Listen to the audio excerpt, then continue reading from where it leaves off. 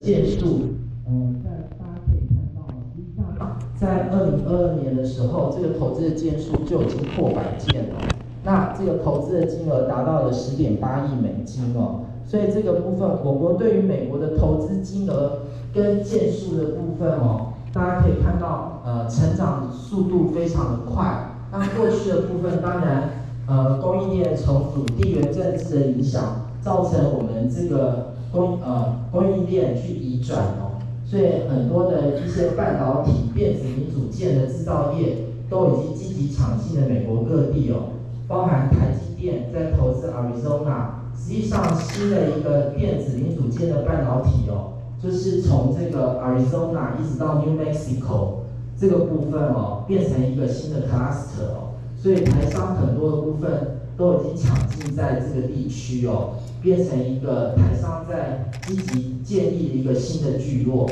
那我想这个和执行呃创办人跟这个执行董事在这边，待会应该也有非常深的一个体会。那呃在这个部分，近期我想台美合作